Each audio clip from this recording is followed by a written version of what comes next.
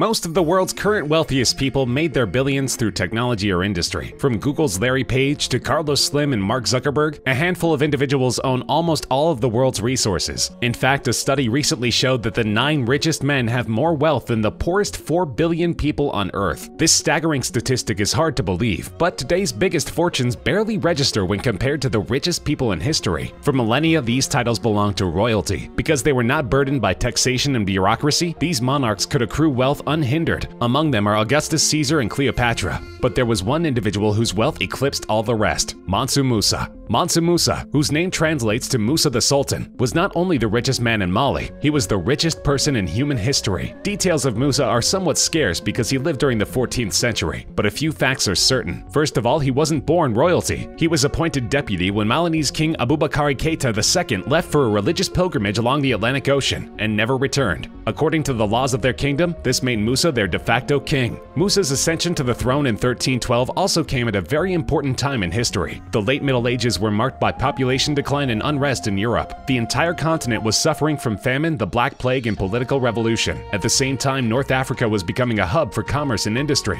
At this time, Musa came to power and took advantage of the economic stability in his region. But Musa wasn't just opportunistic. He also inherited a country that was rich in natural reserves. Salt and gold in particular were plentiful in Mali, and he soon became a successful merchant in addition to his magisterial duties. He traded his gold all across Africa and Asia, establishing Timbuktu as the epicenter for commerce in the region. Before his involvement, Timbuktu was barely established as a permanent settlement, but after his renovation, the city had a constant stream of camels passing through, each laden with more than 200 pounds of either salt or gold. To this day, the salt trade is robust in Timbuktu and still serves as a commercial hub more than 700 years later. In addition to the economic gains, Musa oversaw the construction of Timbuktu's most iconic landmark, the Great Mosque of Djen. As a devout Muslim, it was important to Musa that he pay tribute to his faith with his newfound power. The Djen Mosque is made entirely from adobe and is considered by many architects to be one of the greatest achievements of the Sudano-Sahelian architectural style. Musa brought in architects from southern Spain and across the Muslim world to complete the project. The massive religious complex is the cultural center of Timbuktu and was recently recognized as a UNESCO World Heritage Site. But beyond architectural achievements, Musa's rule saw huge diplomatic gains.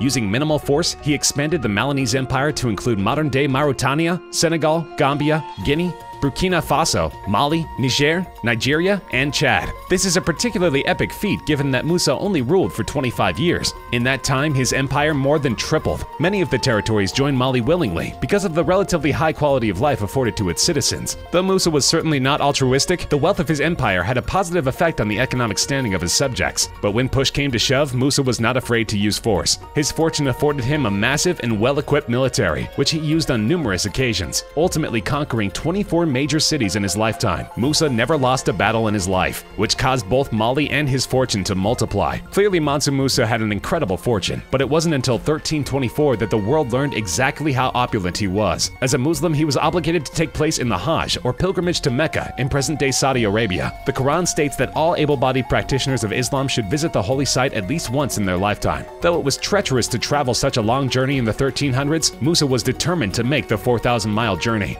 As you can imagine, Musa didn't travel alone. He arranged for the most impressive caravan in human history to accompany him on his journey. Musa made his pilgrimage between 1324 and 1325. His procession reportedly included 60,000 men, all wearing brocade and Persian silk, including 12,000 slaves, who each carried 4 pounds of gold bars, and heralds dressed in silks who bore gold staffs, organized horses, and handled bags. Musa provided all necessities for the procession, feeding the entire company of men and animals. Those animals included 80 camels which each carried 50 to 300 pounds of gold dust. Musa gave the gold to the poor he met along his route. Musa not only gave to the cities he passed on the way to Mecca, including Cairo and Medina, but also traded gold for souvenirs. It was reported that he built a mosque every Friday. These numbers have been corroborated by eyewitnesses who were in awe at his wealth and generosity. For Musa, this was the trip of a lifetime, and he spared no expense. An attendant was later interviewed by a Malinese historian. He claimed that at each halt he would regale us with rare foods and confectionery. His equipment and furnishings were carried by 12,000 private slave women, wearing gowns of brocade and Yemeni silk. It's known that Musa visited with heads of state on his journey, but most famously he met with Al-Malik al-Nasir, the ruler of Egypt. As Musa's caravan traveled through Cairo, he received an urgent message from al-Nasir that he wished to arrange a meeting between the two venerable leaders. Musa refused, stating that he was merely passing through Cairo on his way to Mecca and that he had no business with the king. Historians later speculated that Musa was hesitant to meet the Egyptian king because this meeting would involve an insulting ritual in which all present would be forced to kiss al-Nasir's feet. Of course, this was well beneath Musa's gravitas, so he continued to refuse as al-Nasir sent a constant stream of messengers to his caravan. One of the messengers was later interviewed by a historian. He explained, I continued to cajole him and he continued to make excuses, but the Sultan's protocol demanded that I should bring him into the royal presence, so I kept on at him until he agreed. Musa was apprehensive about the pomp and circumstance surrounding their meeting and tried in vain to get out of it, but the Egyptian king resorted to threats to bring Musa into his royal chamber and he finally acquiesced, given that he had no military to protect him beyond the thousands of slaves in attendance. The meeting grew contentious when Musa refused to kiss the feet of the Sultan, and only turned calm after Musa elected to properly greet al-Nasir. After stooping to kiss al-Nasir's feet, the mood thawed, and the two kings commiserated on the challenges of royal life and traded business secrets. Their revelry went on for hours, and in the end Musa made a powerful ally and trade partner. Following this conversation between the two men, al-Nasir offered lodging to Musa and everyone accompanying him, and Musa in turn left a piece of his incomprehensible wealth in Egypt. Though Musa's trip was intended only for religious purposes, it offered him latent business advantages in areas where he didn't usually travel. Musa spread gold throughout his journey as a gift to the poor and those who accommodated him, and gave a highly concentrated amount during his stay in Cairo. However, Musa's generous actions inadvertently devastated the economies of the regions through which he passed. In the cities of Cairo, Medina, and Mecca, the sudden influx of gold devalued the metal for the next decade. Prices on goods and wares greatly inflated. To rectify the gold market, on his way back from Mecca, Musa borrowed all the gold he could carry from moneylenders in Cairo at high interest. This is the only time recorded in history that one man directly controlled the price of gold in the Mediterranean. Upon reaching Mecca, Musa was singularly focused on his religious faith. While his attendants and slaves continued to distribute his wealth, he spent weeks in prayer and formal ceremonies across the city. This part of his life is marked by discipline rather than excess. During his long return journey from Mecca in 1325, Musa heard news that his army had recaptured the strategically important city of Gao. The city had been within the empire since before Musa's predecessor's reign and was an important, though often rebellious, trading center. Musa made a detour and visited the city, where he received as hostages the two sons of the Gao king, Ali Kolan and Soliman Nar. He returned to Niani with the two boys and later educated them at his court. When Mansa Musa returned, he brought back many Arabian scholars and architects.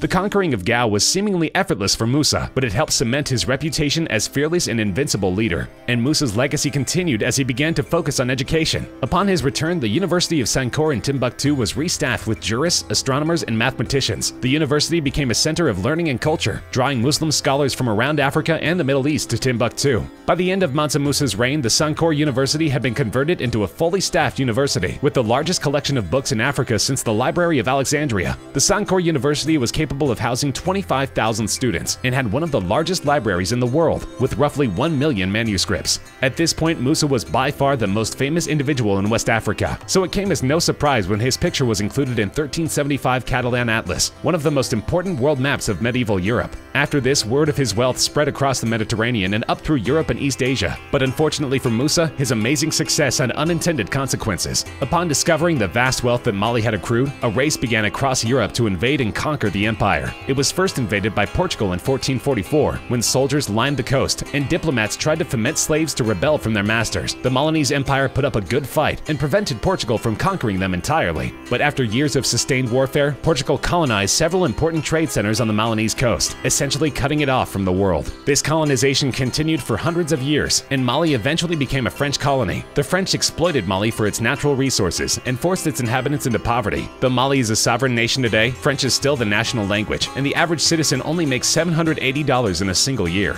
This is a far cry from the robust empire that Mansa Musa created. Though it is difficult to adjust Musa's wealth to match modern-day billionaires, economists have estimated his net worth at an unbelievable $400 billion. To put that in perspective, the richest person in the world is Jeff Bezos, who amassed a fortune of $109 billion through the success of Amazon.com. He is closely followed by Bill Gates and Warren Buffett, who each have about $90 billion. They made their fortunes in technology and the stock market respectively. This means that no one in the world has even a quarter of Musa's massive fortune. The closest historical equivalent is John Rockefeller, whose adjusted fortune is about $340 billion. He amassed his fortune through the U.S. Oil Company and various other industrial ventures. But even then, Rockefeller's net worth is a full $60 billion short of Mansa Musa's. Though he's far from a household name, Mansa Musa was one of the most influential and powerful people in human history. His jaw dropping wealth came from a mixture of luck, hard work, business acumen, and military strength. In the 700 years since his death, no one has even come close to breaking his record, and he still stands as the wealthiest person in human history.